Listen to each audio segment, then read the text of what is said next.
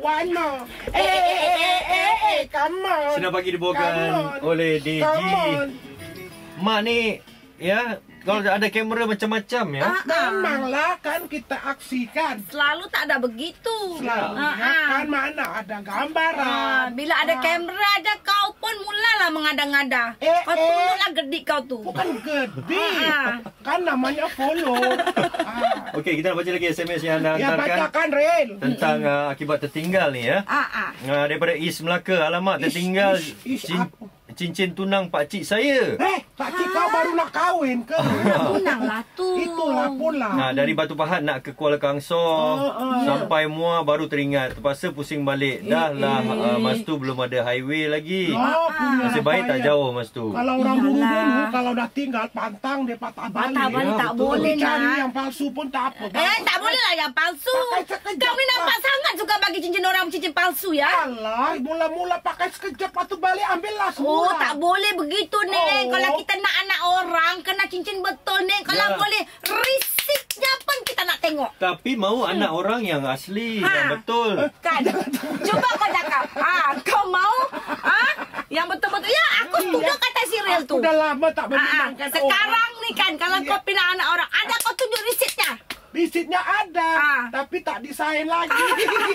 Risit kau beli cincin tu. oh, kena Ah. pakai kah? Eh, mestilah kena tahu. Aku jenis, ya kau nyok-nyok terus saja. Eh, tak boleh. Eh, aku itu. tahulah. Kalau begini aku nak ingatkan Tidak lah ya. Kepada apa. isteri-isteri ah, anak saudara kau tu. Iya. Pergi cek balik. Hantar cincin tu. Pergi tengok cincin betul atau Ah, cincin palsu. Pasal dia tidak mau tunjuk-tunjuk sama orang. Karena Ah. harganya mahal. Nanti Iya. takut tengok pensan. Okey. Ini daripada Su JB pula. ah, apa katanya? Um, ini masa Su kecil tahun 82. Su masa tu kecil ke? Lebih kurang umur 8 tahun lah. Oh, memang kecil sangat tu. Wah, cerita ni memang best. Uh, katanya mas tu oleh Ham Sudirman tengah buat konsert kat JB. Oh, pula. Su terpisah dengan mak ayah. Ah, ah. Nangis lah kan Masa tu Su menangis Tiba-tiba Ada seorang tu ha- Tolong hantar Ke Su pentas. Naik ke atas pentas Oh, iyalah. Jadi Dapatlah Su jumpa dengan Oleham Abang Sudir Oh, Iyalah. Hilang rasa takut Sedih bertukar jadi happy Sampai sekarang Su tak boleh lupa Oh. Wah kan kalau hilang Ya. anak kan kita umumkan Ah, di ah, atas kan. pentas. Ah. Jadi beginilah ya. Ya. Kalau sekiranya ada event apa-apa sinar pagi, Apa ada event? kan kalau rasa macam nak jumpa abang Ah, SY, iya. ya nak bersalaman sama si Keril, Ah, ah. kau buat-buat diri kau hilang. Itu, tapi yang besar. Yang kecil tak mau. Seperti Anak saudara Mak Banang tu kan Ah, ah, Kalau mau jumpa Anang Ah, ah, buat-buat Kan? hilang dia Buat- Jakarta. Eh, ah, Boleh Iyalah. begitu Ah, ah. dia ni bukan layak pada anak. Habis Dia kan mak banang.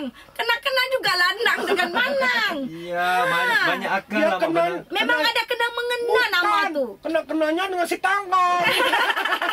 Ini dia Jamiroquai Kau Virtual melampau ya, Neng? Insanity Sinar Pagi Hai, Fira. Tak mau aku sama kau. Hehehe.